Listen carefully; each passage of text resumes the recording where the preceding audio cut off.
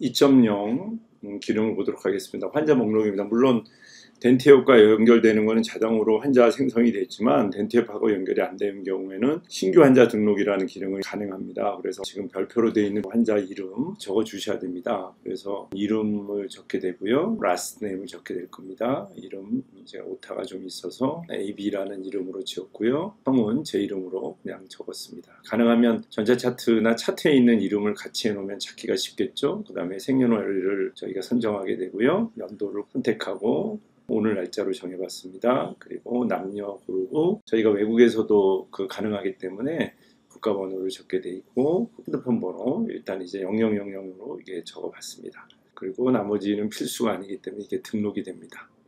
그럼 등록된 다음 환자 이름으로 가면 저기 보면 없었던 AB윤이라는 환자가 뜨게 되죠. 그럼 AB윤으로 들어간 다음에 어, 물론 덴티앱에서 촬영을 하게 되면 바로 올라오지만 바탕화면에 있거나 다른 데 있는 사진도 업로드를 할 수 있는 기능이 있습니다. 지금처럼 업로드를 누르고 파일 선택을 누르면 이쪽으로 드래그를 할 수도 있고요. PC에 있는 사진들을 가져올 수가 있습니다. PC에 있는 사진들을 이렇게 가져오게 되면 이 사진들이 업로드할 수 있는 환경에 놓이게 됩니다. 그래서 이렇게 업로드 현황이 뜨게 되고요. 그러면 이 사진들이 촬영일 지정을 언제로 할지 날짜를 지정한 다음에 업로드를 시작을 하게 되면 local PC에 있던 게 클라우드 버전으로 올라오게 됩니다. 어, 이렇게 올라오게 되면 이 상태 상태에서 이제 저희가 작업을 하게 되는데요. 사진들에 대한 지정을 해주면은 나중에 저희가 사용하기가 상당히 편합니다. 그래서 지금은 뭐 덴트앱에서 올라오는 사진도 중요하지만 뭐 덴트앱하고 연결이 안 되는 분들도 얼마든지 이런 식으로 해서 환자 등록을 하고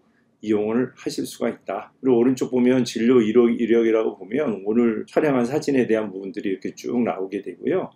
어, 거기에다가 이제 덴트앱하고 연결되는 경우엔 덴트앱에 기록되어 있는 진료 기록들이 이쪽으로 이제 넘어오게 됩니다. 그럼 전자차트를 열지 않더라도 어떤 치료 중에 있고 어떤 상황에 있는지를 알 수 있게끔 돼 있는 게 2.0 버전입니다. 그리고 만약에 수정할 내용이 있다. 그렇게 되면 다시 수정으로 들어가서 전화번호 같은 거를 이렇게 바꿀 수가 있습니다. 왜냐하면 전화번호가 이제 정확해야만이 나중에 말씀드릴 레포트 기능에서 레포트를 발급을 했을 때 그분한테 정확히 갈 수가 있습니다.